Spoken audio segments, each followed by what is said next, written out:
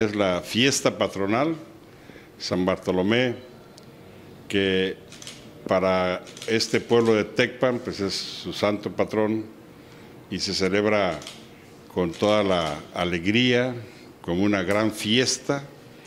que toda la población participa. Hoy le estamos dando un, un sentido de llamado directo para que sea en torno a la paz, tan necesaria tanto en Tecpan como aquí en la zona de la Costa Grande y en todo Guerrero, en Acapulco y en todo Guerrero. Entonces, eh, se ha hecho una procesión con la Virgen de la Paz, con San Bartolomé, y bueno, vamos ahorita a participar en la celebración. Eh, realmente el mayor reto que hoy tenemos es que podamos caminar por los senderos de la verdad, de la justicia y que todos aquellos que generan violencia sepan del grave daño que hacen a mucha gente inocente. Y como iglesia pues estamos en el empeño de atender a las víctimas, de ser un medio de consuelo, de fortaleza, de esperanza. Con el modelo y el ejemplo de San Bartolomé, a quien Cristo identificó como una persona en quien no hay doblez, la autenticidad, que es algo también muy importante y fundamental en la vida de toda persona, y el que desde la autenticidad podamos tener paz en el corazón para poderla transmitir a los demás. Una, paz que se ha visto muy ensombrecida por los actos de violencia en diferentes ciudades como Acapulco, Chilpancingo, incluso Cihuatanejo. Eh, ¿Qué opina acerca de este recrudecimiento de la violencia? Bueno, pues eh, quiero expresar pues lo lamentable que es que tengamos todas estas expresiones y este recrudecimiento de violencia. Y lo importante es que podamos cada quien buscar pacificar en su interior, lograr la paz en el corazón y que las autoridades puedan tener los operativos necesarios para que puedan engendrarse seguridad y confianza en la ciudadanía y que toda la sociedad civil, todos podamos colaborar y participar para que juntos cada quien poniendo su mejor esfuerzo, se pueda contrarrestar esta violencia y esta inseguridad y se pueda reconstruir a las personas, se pueda reconstruir las relaciones dentro de la sociedad, se pueda reconstruir el tejido social. Creo que son aspectos que es importante eh, no perder de vista y tener la, la confianza de que se puede transformar esta violencia y esta inseguridad por un ambiente de seguridad, de confianza y un ambiente donde todos podamos lograr la comprensión que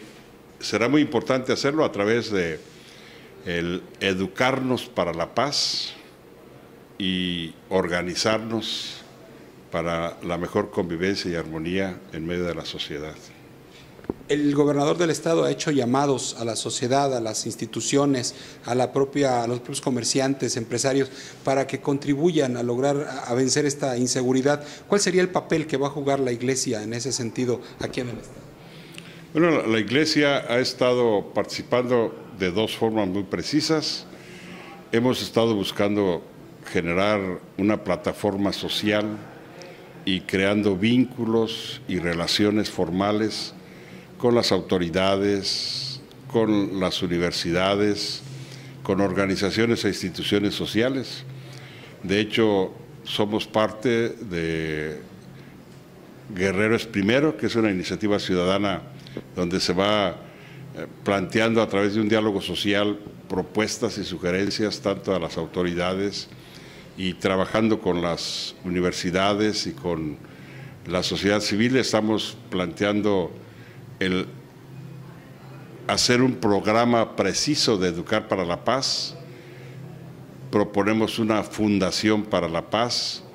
y un instituto para la paz, de forma que podamos ir haciendo una capacitación, una formación fuerte en, todos los, en toda la ciudadanía, temas tan precisos como ciudadanía, como solución de conflictos, como diálogo social, como mediación, como proyectos productivos y de desarrollo, que es una capacitación que puede ser muy importante en este momento. Y la otra forma como la Iglesia quiere colaborar, aparte de participar en, en esta plataforma social, es atendiendo a las víctimas de la violencia, como lo hemos venido haciendo. Y bueno, pues también es sabido que hemos venido implementando centros de escucha, donde se atiende a todo aquel que ha sido víctima de la violencia. Hemos creado centros de jóvenes por la paz y queremos ir impulsando la creación de centros juveniles con enfoque de paz, de forma que se puedan generar espacios donde se atienda a los jóvenes, se les dé acompañamiento y desde un aspecto lúdico se pueda plantear alternativas para que puedan continuar sus estudios y puedan tener también alternativas de trabajo. Y también hoy estamos implementando un proyecto de atención a mujeres víctimas de la violencia. Está impulsándose también un, programa infantil de sembradores, sembradores de paz y también con las familias están implementando algunos programas de familias sin golpes, de familias fuertes, donde se quiere promover el diálogo entre los esposos, el diálogo entre los papás con los hijos y desde esa manera fortalecer a las familias para ir aportando como iglesia a esta situación que se ha generado con ocasión de la violencia y de la inseguridad y poder aportar para que nuestras familias sean el fundamento en donde se vaya reconstruyendo la sociedad.